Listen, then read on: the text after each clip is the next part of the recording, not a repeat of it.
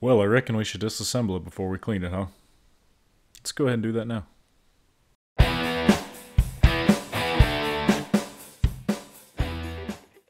Hey guys, Octane Restorations here, and we are back with a 1988 through 2000 Honda GL1500 Goldwing tutorial. Ooh, a lot of words. So, I did make a video on removing the carburetor. You know, the full step, the full process. So if you haven't seen that, go check that one out. This tutorial is going to be a complete disassembly of the carburetor. I'm going to slow it down, I'm going to show you some of the tools I use and stuff like that. We're not going to do any cleaning, anything like that. That's going to be for next video. But this video should be about 15 minutes long, and it'll be a full disassembly, and I'll show you the whole process. So let's get into the tools. First up is a vacuum hose and fuel line remover tool. 10 bucks on Amazon, it is a lifesaver. Makes it so easy pulling apart hoses. Next we got a socket set. If you have a normal socket set that has a 10mm, don't worry about this. I just threw one in there in case anyone didn't have one. This is probably about the cheapest socket set you can find, but it is of lower quality. I have quite a few cheap screwdriver sets just because I can grind them to what I need. Like to fit inside the hole to remove some of the jets, it's got to be pretty narrow and I just like getting these cheap screwdrivers and you can grind them to fit your needs. So just a cheap screwdriver set I recommend. Next we got some JIS screwdrivers. These are different than Phillips, but I harped on these last video, go check it out. And then we got some assorted long needle nose pliers. I think I use them just to get hose clamps off in this video. And lastly, we have a hook and pick set from Harbor Freight to get gaskets and stuff like that off. This is actually a really cheap tool, set of tools, and it helps pretty tremendously. So get all your tools up. I like to have a Tupperware container that I can put rubber gaskets and stuff like that in. And I also like to have a few different boxes. As you can see, this carburetor is very dirty and it is definitely in need of a cleaning. Everywhere you see a hose, there's going to be a hose clamp, or there should be, so that's where that's where the pliers come in. Big emphasis on the should be. If you're getting this motorcycle secondhand, there's a good chance none of these will be there. and this is for a motorcycle that's been left stock, so if your motorcycle has been taken apart and redone, hopefully this still helps you. But as you can see, there's a lot of hoses there. The goal of this disassembly is to remove everything that cannot soak in gasoline. So we're to get all the rubber diaphragms, rubber gaskets, everything like that apart from the metal. Let's go do that now. You got four screws up top. Use a JIS screwdriver so that it grabs. A Phillips head might strip them out.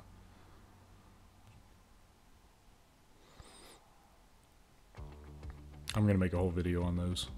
On the bottom, there's four more screws as well. Be sure to keep them sorted. Right now, I'm just re removing the boot that stayed on. Gonna go get some WD-40 to help aid us in loosening it. If you have one of those plastic containers that, you know, normally have the different assortment of screws or whatever, that have like the 15, 20 different compartments, what I like to do is label them like 1 through 20 or whatever, and then as I take off the screw, I put it in the first slot, second slot, third slot. And as long as you do it in the right order, you know, you just use them from 20 to 19 to 18, just a complete reverse. But here, this one's generally pretty easy and I've done, I don't know, this is probably my fourth or fifth GL1500 carburetor disassembly. So I'm semi confident in my ability to find out where they go. And plus I'm videoing myself. I would recommend you do the same if this is your first time. Video yourself to get an idea of where everything goes and that you don't lose stuff. There's a JIS screw in between both the carburetors that is way back there. It holds a linkage together that keeps the plate on and keeps the two carburetors connected. Also took off the Phillips kind of holding the accelerator pump together. These fuel lines are connected to both carburetors, so you're gonna have to get the hose clamp off and remove them. Try not to rip these. If your bike's old and they look like they're cracked, go ahead and replace them anyways.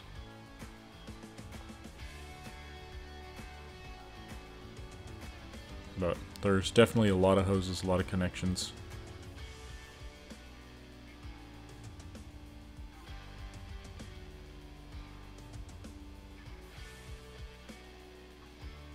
This is where the socket set comes in. I believe it's a 10 millimeter.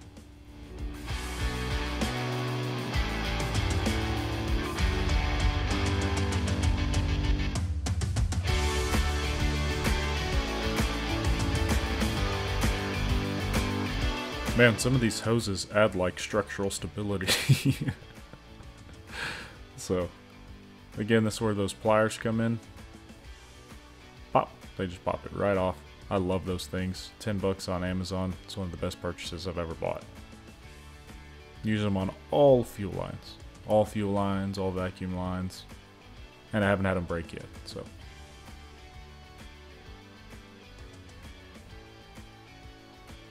There's quite a few linkages to remove. Right now I'm putting a Sharpie on one of those hoses. Later you'll see me do zip ties.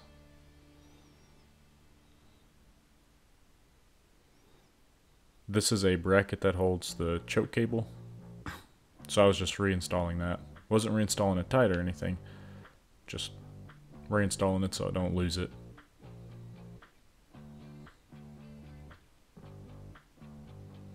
So, at this point, you should have the carburetors pretty much removed.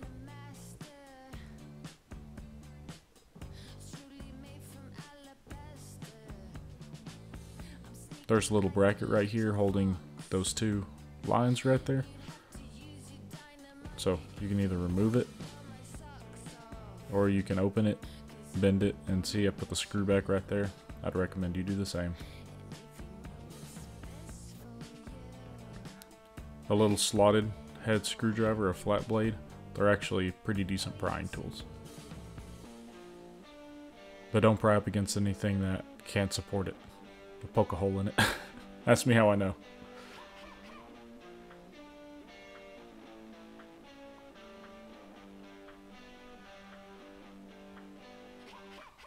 So we got the carbs separated, so now it's time the individual disassembly.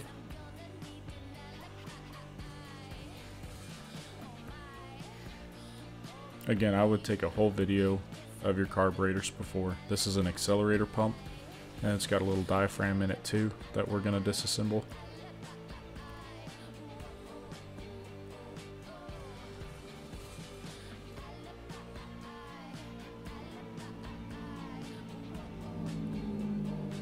Right there, and you don't want that soaking in gasoline. It can just cause it to swell and stuff like that, not fit right. So these should be 8 millimeters, I believe. 8 millimeters, maybe 7 millimeters. But Honda did a, a service by being able to get a socket on there instead of just a JIS screw so you don't strip it out. Anytime I can use a socket, I'm going to use a socket instead of a JIS slash Phillips.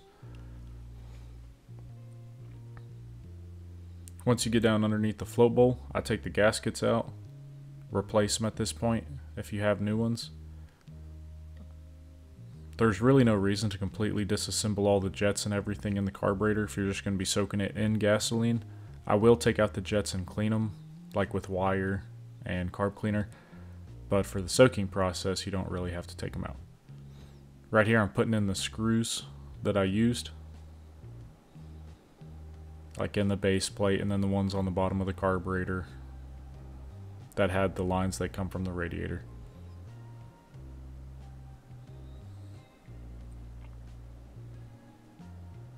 It's easier if you do it as you go and not do it at the very end like I did.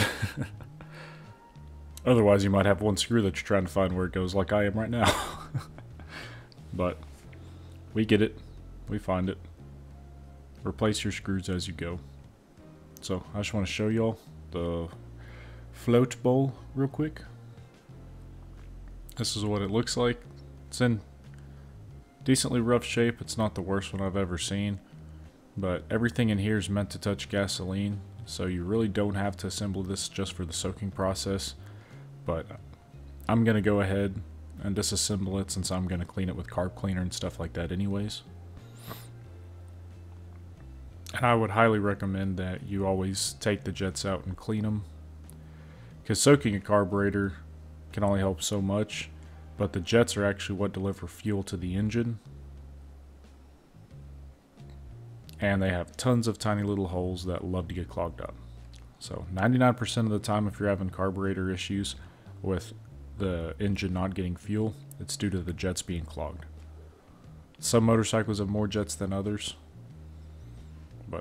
I just, if I'm going to take apart the carburetor, I'm going to remove the jets and thoroughly clean them with carb cleaner and a piece of wire. And I'll show you how to do all that later. Just remove the diaphragm housing. There's a little socket in there. Got to remove. There's a spring and that diaphragm.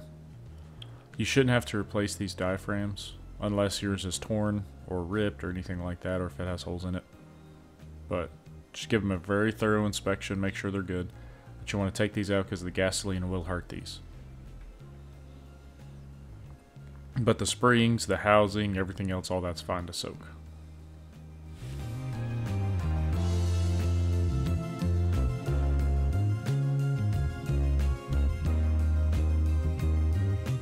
Take out the float bowl gaskets. Again, take out a few of the jets. I leave the idle cable adjustment, the idle screw adjustment cable. I leave that in. It's not going to hurt it, it's just a cable.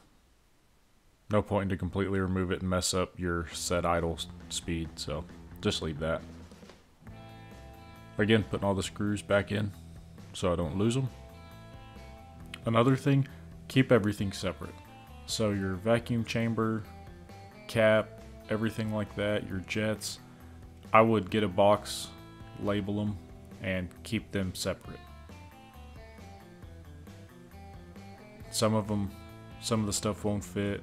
Some bikes, if it's at a different altitude, you know, it might have different jets. I didn't show it here, but if this is your first time, I'd keep everything separate, okay?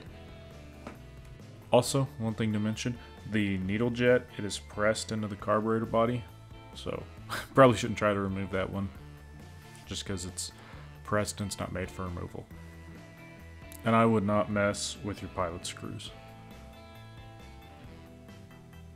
So, I just get them in there, and again, whenever you remove them, remove the pieces, take them apart, if you're not familiar with this, keep it separate.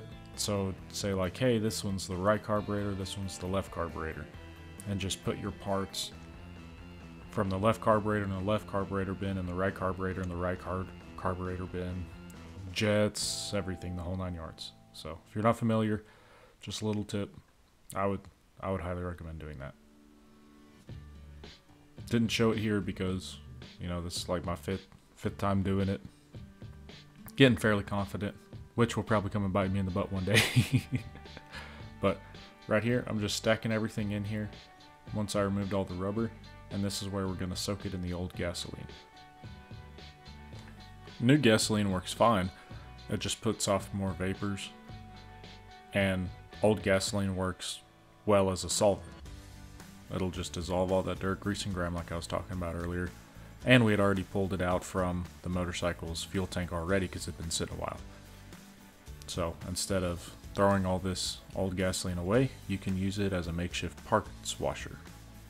But first, we're going to soak it in here for 24 hours, get rid of all that dirt, grease, and grime. It's just going to soak in there, start cutting on it, and make it easy for us to clean in the next episode. So stay tuned for that. Well guys, this is Octane Restorations with another 1988 through 2000 Goldwing GL 1500, preferably Honda, tutorial. If it helps you, please consider giving it a like and subscribe. Uh, and leave a comment. Let me know if something you want to see more, something you have a question about, something you want to see different. Again, I'm not perfect, so if you have a critique or anything, just let me know. This is Octane Restorations. You have a good rest of your day.